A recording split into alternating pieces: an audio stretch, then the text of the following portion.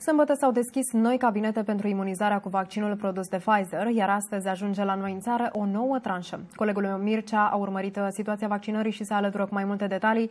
Mircea, câte doze de vaccin uh, de la Pfizer ajung astăzi în România?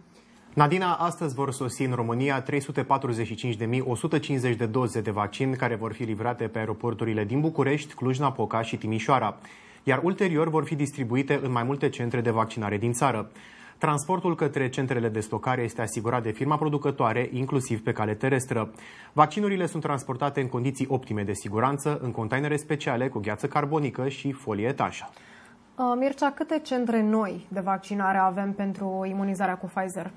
Avem 167 de cabinete noi care vor deveni operaționale pentru vaccinul produs de Pfizer.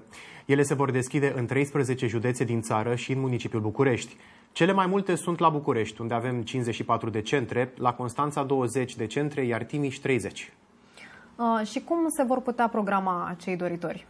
Toți cei care doresc să se vaccineze se pot programa atât online în platformă, cât și telefonic în call center, începând de mâine.